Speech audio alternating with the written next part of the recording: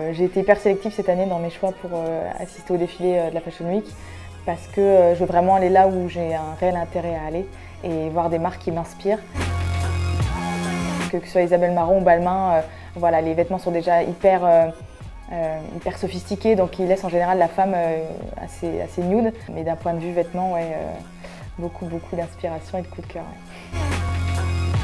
J'aime bien Rosie Huntington, que je trouve très belle. Elle avoir toujours des maquillages sophistiqués, à la fois pas tant que ça. Euh, bon, après, elle a une base qui est quand même assez, euh, assez sympa, donc c'est pas trop compliqué de la mettre en valeur. J'aime bien ses mises en beauté, ouais. Le dernier L'Oréal de la collection avec Isabelle Marant. La teinte, c'est la scène Shadow. Je trouve vraiment top. Voilà, dans les tons, euh, c'est pas nude, mais c'est assez léger. C'est un, un, rose rouge assez light, donc j'aime bien. J'ai fait des mini Get Ready With Me pour mes précédents défilés. Et donc été assistée par une maquilleuse bah, qui m'a donné l'astuce pour créer de fausses taches de rousseur et je trouve ça incroyable. Euh, mon salon de coiffure.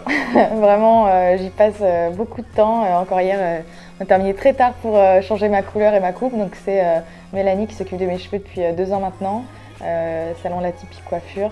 Donc voilà, je peux passer 7 à 8 heures dans son salon parce qu'elle va faire en sorte que je ne ressors pas avec les cheveux brûlés, que voilà, qu'on puisse aller parfois dans les extrêmes comme le roux aujourd'hui sans endommager mes cheveux. Euh, je joue beaucoup avec les extensions. Voilà, ça s'y voit aussi sur la Fashion Week, je suis passée du court au long.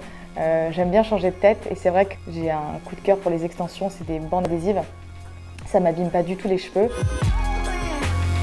Je me maquille toujours de la même façon, hormis voilà, hors euh, événements et autres. J'aime bien les tons un petit peu bruns, un petit peu marron, un peu cuivré, plutôt, plutôt.